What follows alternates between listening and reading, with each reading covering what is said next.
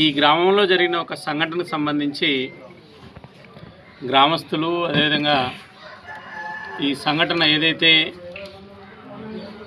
హిందూ ధర్మం కోసం చేసేటువంటి అనేక రకాలైన పండుగల్లో బతుకమ్మ కూడా ఒకటి తెలంగాణకు సమీపం ఉన్నటువంటి గ్రామాల్లో తెలంగాణ సాంప్రదాయాలను కూడా ఆంధ్రాలో బతికించే దానికోసం ఈ కార్యక్రమాలు ఈ గ్రామాల్లో పెద్ద ఎత్తున చేస్తుంటారు. అయితే స్థానికంగా ఉన్నటువంటి ఒక ఎస్ఐ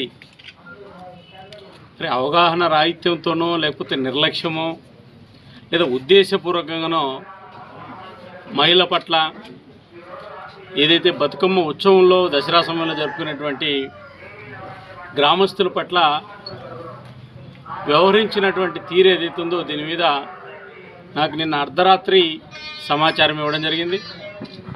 దీనికి సంబంధించి సంబంధిత అధికారులకు కూడా మాట్లాడడం జరిగింది. చాలామంది హిందూ సమాజం మీద దాడి చేయాలని చాలామంది ప్రయత్నం చేశారు.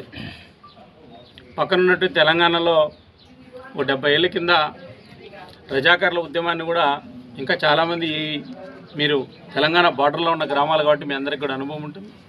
ఇది సరైనటువంటిది కాదు. ప్రజలు తిరగబడి ప్రజలు ఈ రకమైన ఆందోళన చేసే వరకు అవకాశం ఇవ్వకూడదు. కాబట్టి ప్రజాక్షేత్రంలో హిందూ ధర్మం మీద దాడి చేసేటువంటి విషయంలో ఖచ్చితంగా భారతీయ జనతా పార్టీ ఈ ప్రభుత్వానికి ఎప్పటికప్పుడు నిలదీయడం జరుగుతుంది.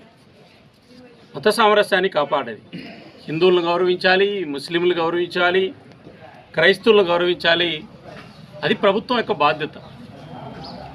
ప్రభుత్వంలో ఉన్నటువంటి వాళ్ళు ఒక మతానికి సంబంధించినటువంటి దానికోసం ప్రభుత్వం పనిచేయదు అంటే ప్రజల పన్నులతో ప్రభుత్వాన్ని నిర్వహణ చేసేటువంటి సందర్భంలో అన్ని కాబట్టి ఆంధ్రప్రదేశ్ ప్రభుత్వం ఈ రాష్ట్రంలో వరుసగా జరుగుతున్నటువంటి హిందూ ధర్మం మీద దాడి ఏదైతుందో వీటి విషయంలో చర్యలు తీసుకోవాలని చెప్పి నేను గుర్తు చేస్తున్నాను లేకుంటే ప్రజాక్షేత్రంలో భారతీయ జనతా పార్టీ ఆందోళన చేయడం అనేటువంటిది జరుగుతుంది.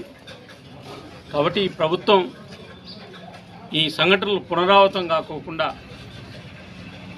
సమానమైనటువంటి గర్వం గౌరవం అన్ని ధర్మాల పట్ల కూడా ఈ వీడియో మీకు నచ్చినట్లయితే ఈ వీడియోని లైక్ చేయటం కామెంట్ చేయటం షేర్ చేయడం మర్చిపోకండి. అండ్ అలానే మా ఛానల్ని తప్పకుండా సబ్స్క్రైబ్ చేసుకోవడంతో పాటు పక్కనే ఉన్న గంట సింబల్ని గట్టిగా కొట్టండి.